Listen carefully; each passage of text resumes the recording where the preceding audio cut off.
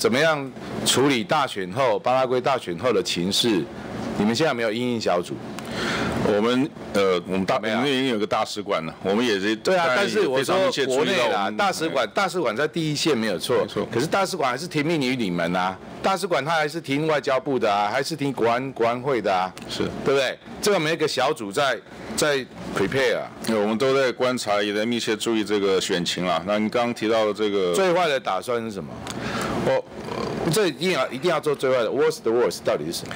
哦，我可我可以跟委员讲，就是说，呃，中国大陆也很明显的了哈，也在拉拢各各方的候选人，所以我才。所以这是一个事实。提提出这个警示嘛，因为这很明显，如果候选人都这样讲，你们不做不做准备，然后或者是说将来选完之后，万一是他当选，不管是不是他当选啊，其实从整个巴拉圭的国家利益来考量，我们到底怎么样保住这个邦交国了？我们也会呃，我们我们已经讲过，我们会愿意跟任何呃由巴拉圭人民选出来的这个总统，因为我们新政府来合作。